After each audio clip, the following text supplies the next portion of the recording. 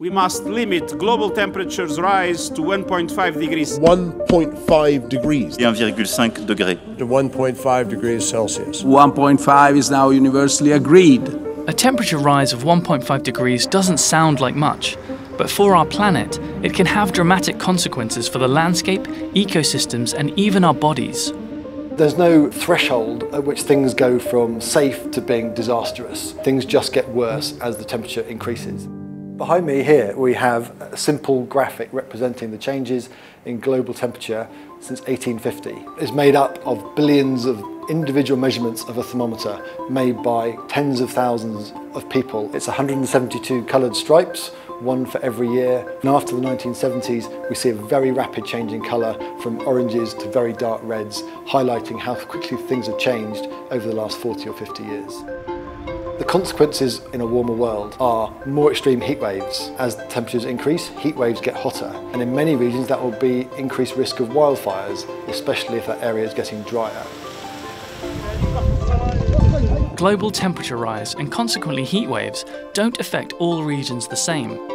The planet is warming fastest in the Arctic than most other regions. In the northern higher latitudes, it's warming faster over land than over the ocean, and in some regions like South Asia, intensifying heat waves are testing the limits of human survivability. These are the regions that have the fastest growing population and so the impacts of that could be immense. We are really concerned about India, Pakistan at the moment because of the increase in this deadly combination of humidity and air temperature. Humidity inhibits our ability to sweat, which means we don't cool down as quickly. And so there's just a build-up of temperature inside, and that means our vital organs can't function properly. In the US, the National Weather Service says heat kills more people each year, on average, than any other weather-related event.